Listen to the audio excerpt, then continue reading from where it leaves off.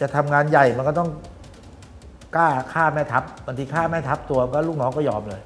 เหมือนองค์กรอาชญากรรมที่อ่ารวบรวมเงินทั้งหมดจากทั่วประเทศอืมหรือบางส่วนเข้ามารวมเนี่ยอืมพอรวมเข้ามาเสร็จก็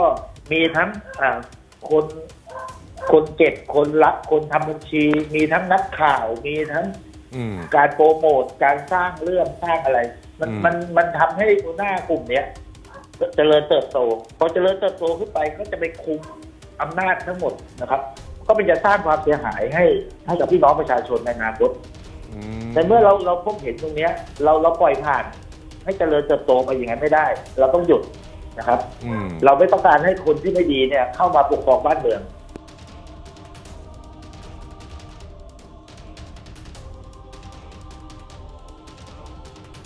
นะครับโปรดอย่า ทรยศองค์กรตัวเองนะครับ เหมือนเหมือนที่ท่านทรยศเจ้านายมาแล้วหลาย ๆ คนนะครับผมว่าตำรวจเราจะโตขึ้นทุกวันโตขึ้นเรื่อย ๆ เนี่ย มันต้องมันต้องซื่อสัตย์ต่อตัวเองด้วย ซื่อสัตย์ต่อพี่น้องประชาชนด้วย การพูดจาคำไหนก็คำนั้น ไม่ใช่พูดวันนี้วันพรุ่งนี้ไปวันพรุ่งนี้วันวันนี้ไปวันหนึ่งไม่มีใครใหญ่กว่าประตูห้องขัง นะครับ ทุกคนเข้าไปพักผ่อนให้สบาย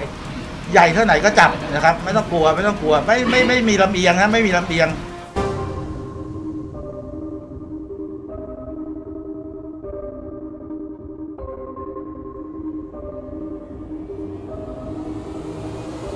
รองผู้บัญชาการเป็นผู้บัญชาการนะครับ เป็นผู้บัญชาการเสร็จเป็นผู้ช่วย เป็นรองแล้วก็เป็นผบตรโอ้โห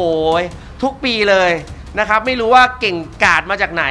นะครับ เนี่ยแหละ คนคนนี้แหละนะครับที่ท่านอินทรีเต่าจะต้องปราบนะครับ เพื่อจะทำให้สังคมตำรวจเนี่ยดีขึ้นนะครับ จะได้ไม่มีการใช้เส้นใช้สายในการฝากฝังกันด้วยนะครับ เราก็ทราบกันดีครับว่าบิ๊กต่อเนี่ยนะท่านเป็นน้องชายของใครนะครับ บางคนก็อาจจะไม่กล้าดำเนินคดีหรอกนะครับ แต่ว่าวันนี้นะสังคมจับตาดูอยู่ครับ ถ้าท่านไม่ทำอะไรนะ ก็เท่ากับว่าท่านเนี่ย ละเว้นการปฏิบัติหน้าที่แล้วก็ไม่กล้าจริงอย่างที่ท่านเคยให้สัมภาษณ์มาตลอด